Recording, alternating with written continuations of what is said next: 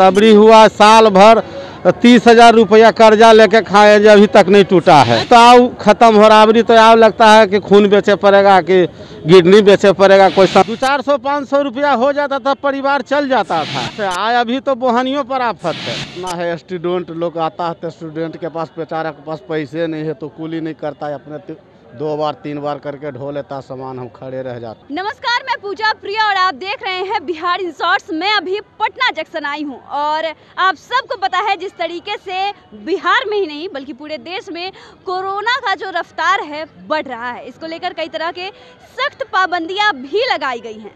लेकिन सवाल ये उठता है कि क्या इस सख्त पाबंदियों के बीच जो आम लोग हैं, खासकर जो मजदूर वर्ग के लोग हैं, वो अपना जीवन यापन कितनी मुश्किलों से कर रहे हैं? क्योंकि यहाँ पर हमारे पीछे कुछ कुली वर्ग से लोग आते हैं जो डेली वेजेस पे काम करते हैं। इनका सहारा है कि अगर आप आएँगे आप इन्हें अपना सामान उठाने के लिए देंगे तो ही इनका घर परिवार चल पाता है। ऐसे में इन लोगों की क्या स्थिति है? आज हम इनसे बात करेंगे। क्या नाम हुआ सर आपका? अरुण कुमार। अरुण जी कितने सालों से ये काम कर रहे हैं आप? ये काम कर रहे हैं पंद्रह साल से। पहले पिताजी खटते थे अब हम खट रहे हैं अच्छा पिताजी। बात बताइए लॉकडाउन में सब बाहर बाहर से लोग सब आ रहे हैं। तो आप लोग के काम पर तो कोई असर नहीं हुआ होगा? पूरे असर हो गया। कुली करबे नहीं करते हैं अपने सामान ढो लेते हैं। कि कोरोना की शिकायत के चलते। तबरी हुआ साल भर तीस हज़ार रुपया कर्जा लेके खाए जो अभी तक नहीं टूटा। हाँ रेले बंद हो गया।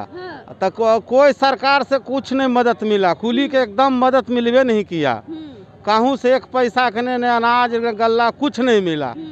अबरी भी लग रहा था अबरी तो आओ खत्म हो रहा अबरी तो आओ लगता है कि खून बेचे पड़ेगा, कि किडनी बेचे पड़ेगा, कोई समझे में नहीं आ दो चार सौ, पाँच सौ रुपया हो जाता था, परिवार चल जाता था। से आए अभी तो बोहनियों पर आफत है। नहीं भाई, दिन भर बैठा रहते हैं तो एकाग बोझा मिलता है, सौ रुपया, डेढ़ सौ रुपया तो खाइए जाते हैं। डर रहे हैं, कहते हैं पैसे नहीं है, पैसे नहीं है। खत्म हो गया, काम खत्म, पैसा खत्म। मेरा नाम हुआ स्वागत पासवान। नहीं अवसर तो नहीं है, कमाई तो एकदम ठपे है। जहाँ तहाँ ये तो लॉकडाउन के समस्या है तो हम सब तो पैसेंजर के ऊपर चलते हैं रोजी रोज़गार चलता है।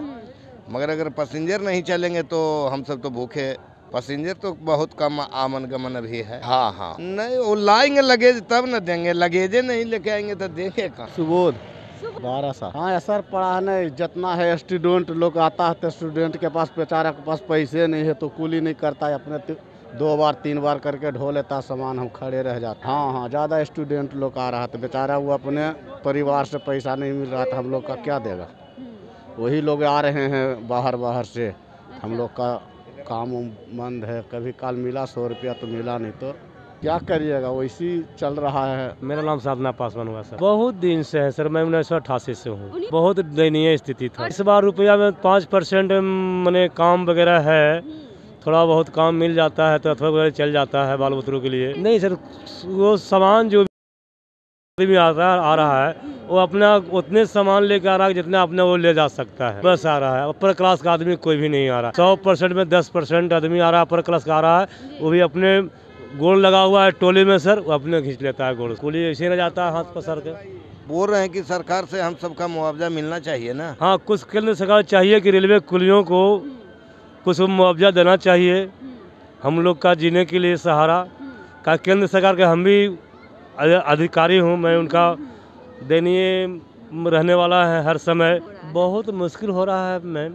क्या बताए लॉकडाउन तो लगा रहा है सरकार लेकिन हम लोग कुछ फ़ायदा नहीं है। ये बड़ा बड़ा कंपनी वाला का फ़ायदा है जो स्टेशनलाइजर बना रहा है मांस बना रहा है उसी का बेनिफिट हम लोग क्या है? काम पर तो बहुत असर पड़ा लेकिन क्या करें झेलना पड़ता है। उसी में झेल लेते हैं पाँच सौ रुपया होता है कभी पाँच सौ रुपया हो जाता है कभी तीन सौ रुपया होता है उसी में झेल लेते हैं परिवार को अपना। सामान नहीं उठवाते सटने नहीं देते हैं। जैसे कि गाड़ी से उतरते हैं वैसे ही सटते हैं तो कहता है कि दूर रहो दूर रहो। सामान स्वयं हम अपना लेके चल जाएँगे। सामान में नहीं सटने देता कुली नहीं करता है। कितने लोग जो है जो कि गरीब ताई समझते हैं कि नहीं, गरीब आदमी है, कुली कर लो, इसको भी बाल बच्चा परिवार है तो इसीलिए कुली कर लेता तो कुछ हो जाता हम लोग का कमाने कहते लोग डरता है। हाँ भर मुश्किल है। और हम लोग का जो है, कोई गरीबताई समझता नहीं ग्रिप लगता है, मीडिया वाला आते रहते हैं, जाते रहते हैं, पूछते रहते हैं, लेकिन हमारे ऊपर कोई मैंने कि ध्यान नहीं देते नहीं। कि कुली क्या चीज़ है? कुली का वेतन नहीं है तो कम से कम भारत को भी तो नागरिक है। रेलवे में जुटे हुए हैं, सरकार हमको क्या देता? कुछ नहीं देता, प्राइवेट जो मिलता जो ही से निवास पासवान, लाइसेंस पोर्टर, कुली का काम करते हैं। जी, पेटों पर आफत है। आफत लॉकडाउन हो गया। नहीं, सब पैसेंजर छनक गया ना कि कोरोना है तो कोरोना से कहाँ आ रहे हैं? घींच लेते हैं, अब कोरोना में सटना भी दुर्लभ है, बोलते हटो साइड धरो। सामान में टच भी नहीं होने देता है। दिक्कत है, बहुत परेशानी है। मोहम्मद शाहनवाज पूरा दिख रहा है, फुट पर आ गए हैं, और क्या बचा? नाइट कर्फ्यू लगा है, अगले बार जो जो लॉकडाउन लगा है, उसका अभी तक असर है। पैसा नहीं है। मिडिल क्लास के लोग मर रहे हैं। अपर क्लास के नहीं मिडिल क्लास के लोग तो मर रहे हैं। ये साफ़ ज़ाहिर बात है। ये आप भी देख रहे हैं, और जनता भी देख रहा है। अब नेता लोग कुछ कर सकते हैं आवाम के लिए तो कुछ करें मिडिल क्लास के लिए। बहुत तकलीफ़ है धंधा खत्म हो चुका है। जो पूंजी था खत्म खा गया आदमी। बोलता है मोदी जी हमारे बोले थे कि तीन महीना का किराया नहीं लेना है और दुकानदार से या किराएदार से। मगर उससे किराया लिया गया। अच्छा। बचा गया। बैठ के खाया बच्चा बीमार पड़ा तो आदमी नीचे ही गया ऊपर कहाँ गया? अब तो आप लोग सोच रहे होंगे। आप ही लोग इसका संविधान निकालिए। होएगा छः सात साल बहुत परेशानी है। दिक्कत है कि पैसेंजर नहीं मिल रहा है। कुमार यादव दस साल। लोग आ जा रहे हैं लेकिन सवारी नहीं ना चलता है मैडम। बहुत मुश्किल से तो आदमी को हम लोग को यहाँ के खुराक ही चलता है। घर परिवार के तो बातें छोड़िए। बहुत दिक्कत है। हाँ हाँ दुकानदार से कर्ज लेना पड़ता है। सेठ मारवाड़ी से कर्ज लेना पड़ता है। रेल सरकार हम लोग को कुछ ध्यान नहीं देती है। हर जगह कोरोना में चुनाव होता है उसमें पाबंदी नहीं है। आ, नाइट कर्फ्यू लगाया था ठंडी में नाइट में कौन कहाँ जाता है? हाँ। हाँ हाँ सबसे गरीब परेशान है। गरीब मर रहा है भूखे। हाँ सरकार कुछ ध्यान नहीं दे रही है। हाँ हाँ। बोल रहे हैं कि कोरोना है हम अपने से ले जाएँगे सामान। यहाँ तो हम सात आठ बहुत असर पड़ा है। मिलता है नहीं भी मिलता है। आ जा रहे हैं तो सामान कहाँ लेकर है कसहूँ भाग के आ रहे हैं बाहर से। सामान कहाँ से ला रहे हैं? कसहूँ चल रहा है अब।